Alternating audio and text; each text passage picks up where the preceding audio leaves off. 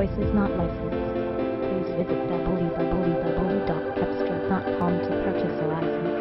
This 2011 Chevrolet Equinox is brought to you by Auto World Vegas. It's just about the world of